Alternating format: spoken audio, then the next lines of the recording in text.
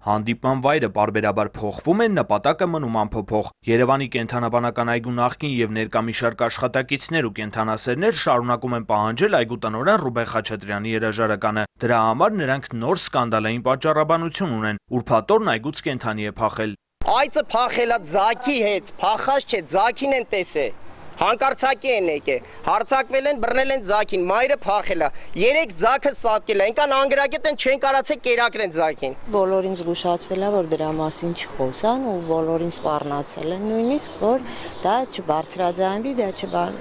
չլուսաբանվի։ Վերջին մեկ տարվա ընթացքում սա նմանատիպ երրորդ դեպքն է, նշում են ակցիայի մասնակիցները։ Նրանք վստահեցնում են, որ այգու աշխատակիցների հետ մշտական կապի մեջ են եւ տեղյակ են այնտեղ կատարվող յուրաքանչյուր անօրինությունից։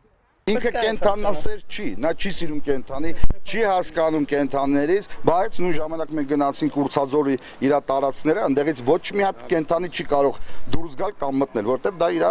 անձնական է, այստեղ նա թքած ունի։ Ռուբեն Խաչատրյանի օրոք բազմաթիվ կենթանիներ են սպանվել, նշում են ակտիվիստները։ Մեկ գիշերում 14 լամա, զեբրի թունավորում եւ այլն։ Ոնց կարա լինի, որ բարձր դոզայով թունավորված կենթանին փակ տարածքում 5 օր կեր ուտի, ջուր խմի, կեղտը նորմալ լինի եւ հանգարց 6 կամ 7-րդ օրը ինքը սատկի Աշխատակիցները մեկնաբանում են նաև տնօրենի այն մեղադրանքը, թե իրենք տարիներ առաջ կենթանիներ են մորթել եւ միսը վաճառել։ Նախկին տնօրենը երկու հատ նոր տարուն մորթելա ծեր կովերից, որ ժողովրդին բացա բաժանի։ Կով կով աշխատավարձ չկար, կովի միսը մորթել էին, բաժանել էին աշխատակիցների միջև ծերկով էր կապ չէին տալի։ Ակտիվիստները քաղաքապետարանից պահանջում են ուսումնասիրել Ռուբեն Խաչատրյանի 8-ամյա գործունեության ընթացքում կատարված բոլոր գործարքներն ու փաստաթղթերը։ Հակոբ Գևորքյան, Էպիկենտրոն